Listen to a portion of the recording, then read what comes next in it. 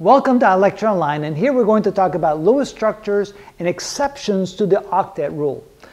I've mentioned before that when uh, atoms come from the third or fourth period that it's not unusual that there's exceptions to the octet rule but there's other reasons. Even with some elements from the second period you can have exceptions to the octet rule. So take a look at this, this molecule nitrous oxide.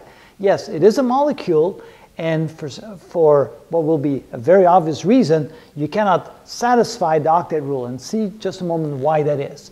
For example, uh, nitrogen has, of course, five valence electrons and oxygen has six valence electrons. This gives us a total of 11 electrons, which is an odd number. Since we came up with an odd number of valence electrons, you can already guess that the octet rule cannot be satisfied. So let's, let's see what the Lewis structure of this has to look like.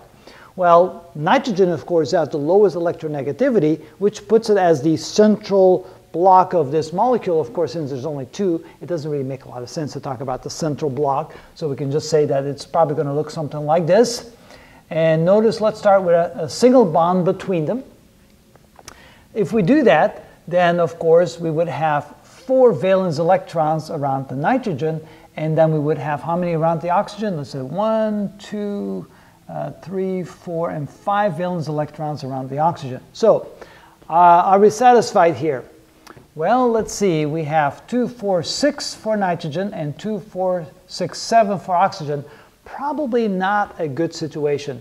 Probably what's going to happen is that an additional one of these, an additional one of these will come in and form another bond. Because since the octet rule is not followed for both of the atoms, that's an unlikely scenario. So let's try that. Let's see if that works. So now we end up with nitrogen and a double bond with oxygen, which leaves only four valence electrons for the oxygen. And now notice that the oxygen, which is the most electronegative of the two atoms, now has followed the octet rule, which is a more likely scenario, which leaves us with just three electrons for the nitrogen, which is the least electronegative element, and now it has seven valence electrons, at least on a sharing basis instead of eight, and so we feel that this would be the most likely Lewis structure of the, um, of the nitrous oxide molecule.